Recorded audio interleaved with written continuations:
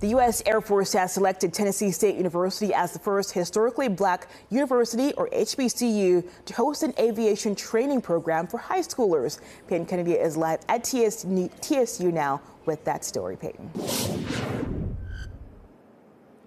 Yannickel, 19 students from across the country and around the world were selected by the Air Force to be a part of this moment. So right now, students are on campus completing lectures and flight simulators before heading over to John Tune Airport for hands-on training. Their ages 16 to 17.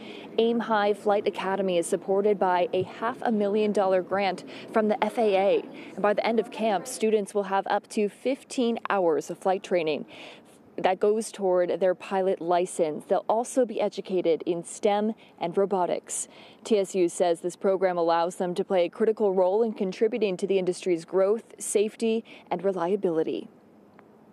For me, uh, engineering is one of my childhood passions, but just being able to make change with your own two hands, you know, like to be able to see a problem in front of you and like not just be a bystander, but be someone who actively works to solve a problem. I'm very, uh, I'm very happy and very passionate to be surrounded by such motivated and talented people, and that really pushes me to do my best as well.